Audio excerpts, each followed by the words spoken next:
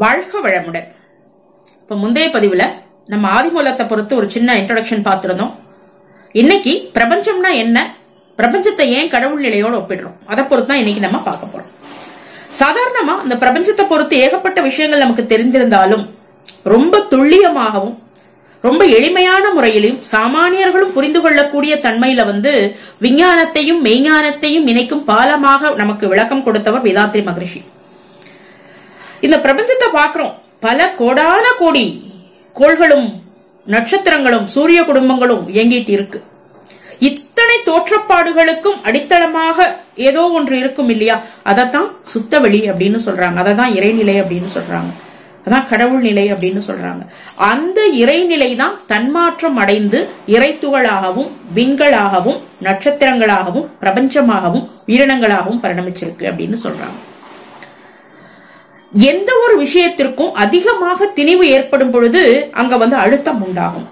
இதே போலதான் பிரபஞ்சத்திற்கும் அப்பால் உள்ள சுத்தவெளியில இவ்வளவு தோற்றப்பாடுகளுக்கும் காரணமாக இருந்த ஆற்றல் களம் அங்க என்ன ஆகுது? அழுத்தம் வந்து அதிகமாகும் பொழுது அங்க மடிப்பு விழுந்து அந்த மடிப்புல இருந்து என்ன ஆகுது? கொஞ்சம் கொஞ்சமா கொஞ்சம் கொஞ்சமா துகள்கள் வந்து உண்டாகுது.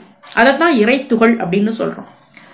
இன்றைக்கு வந்து நம்ம வந்து சயின்ஸ்ல வந்து ஈத்தர் பார்ட்டிகிள் அப்படின்னு கண்டுபிடிச்சிருக்காங்க. பல உபகருவிகளை வைத்து. ஆனா அப்பவே வந்து தன்னுடைய உடலையும் மனதையும் பிரபஞ்சத்தோட இணைப்பு பெற்று இந்த பேருண்மையை சாமானியர்களும் புரிந்து கொள்ளக்கூடிய தன்மையில வந்து விளக்கம் கொடுத்திருக்காங்க மகரிஷி. இப்போ இந்த சுத்தவெளியில இருந்து மடிப்பு விழுந்து அதுல இருந்து ஒரு பவுடர் வருது இல்லையா? அதுதான் இறைத்துகள் அப்படின்னு நம்ம சொல்றோம்.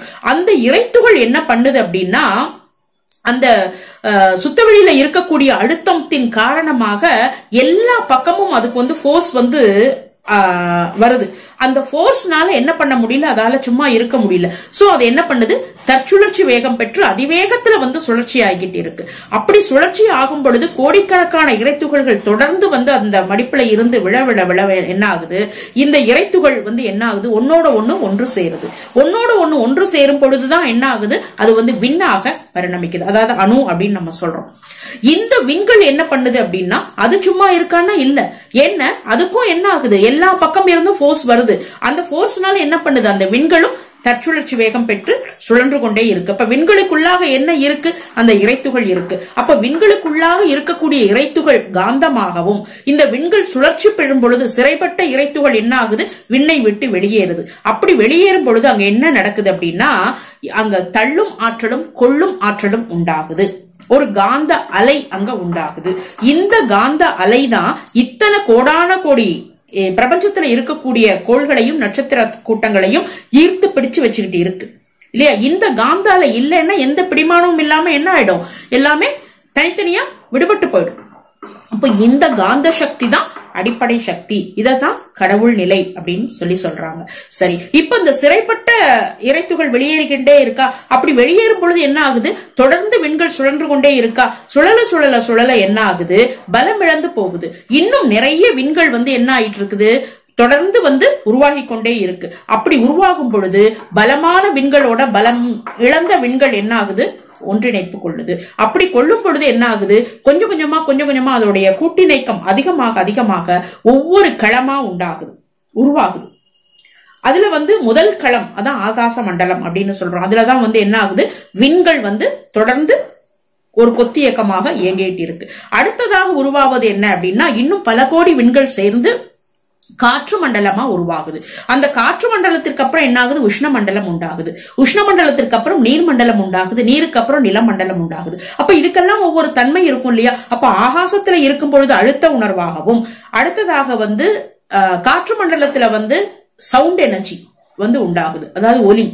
அடுத்ததாக உஷ்ண மண்டலத்துல வந்து லைட் எனர்ஜி வந்து உண்டாகுது. அடுத்ததாக நீர் மண்டலத்துல வந்து சுவை உணர்வு உண்டாகுது. அடுத்ததாக மண் நிலம் அப்படிங்கிற இதுல வந்து வாசனை உணர்வு உண்டாகுது. அப்ப இப்படிதான் வந்து தொடர்ந்து வந்து இயக்கமாக தொடர் இயக்கமாக இயங்கிக் கொண்டே இருக்கு. இது தொடர்ந்து இயங்கிக்கிட்டே இருப்பதனாலேயும் இதை வந்து ஆக்கவும் முடியாது அழிக்கவும் முடியாது. இப்ப வந்து இங்கிலீஷ்ல வந்து நம்ம சொல்லுவோம் இல்லையா? இந்த atom neither can be produce not to be destroyed அப்படின்னு. ஒரு அணுவை வந்து மனிதன் வந்து உண்டாக்கவும் முடியாது அழி- அழிக்கவும் முடியாது. ஆனா அணுவை வைத்து என்ன பண்ணலாம்? பல பொருட்களை உண்டு பண்ணலாம். இல்லையா? இதற்கு இன்னும் வந்து ஒரு சின்ன எக்ஸாம்பிள் சொல்லலாம். பருத்தியை கொண்டு நம்ம நூலை எடுத்து நூலை கொண்டு நம்ம ஆடை தயாரிக்கலாம். ஆனா பருத்தியை மனிதன் வந்து உருவாக்க முடியுமான்னு முடியாது. அப்ப இந்த உண்மையை தெரிந்து கொள்வதற்கு தான் நாம வந்து இந்த பிரபஞ்சத்தை பொறுத்து ஒரு விளக்கத்தை நாம தெரிந்து கொள்ளணும் அடுத்ததாக வந்து இது வந்து தொடர்ந்து வந்து இயங்கிக் கொண்டே இருப்பதனாலையும் இதை ஆக்கவும் முடியாது அழிக்கவும் முடியாது அப்படின்றதுனாலையும் இது பொங்கிக் கொண்டே இருப்பதனாலேயும் இதற்கு முடிவே இல்லை அப்படின்றதுனாலையும் இதை நம்ம பிரம்மம் அப்படின்னு நம்ம சொல்றோம். இதைத்தான் நாம கடவுள் நிலை அப்படின்னு சொல்றோம். அப்ப இதற்கு வந்து முடிவே கிடையாது. இது தொடர்ந்து வந்து இயங்கிக்கிட்டே இருக்கு. ஒரு தொடர் இயக்கமாக எங்கேயுமே வந்து ஒரு பிளவுபடாத தொடர் இயக்கமாக இயங்கிக் கொண்டே இருக்கு. இதைத்தான் நாம கடவுள் நிலை அப்படின்னு சொல்றோம். தொடர்ந்து அடுத்த பதிவுல வந்து இந்த பிரபஞ்சம் எப்படி உருவாச்சு அப்படிங்கறத பொறுத்து அடுத்த பதிவுல சிந்திப்போம். அதுவரை தொடர்ந்து இணைந்திருங்கள். வாழ்க வளமுடன்.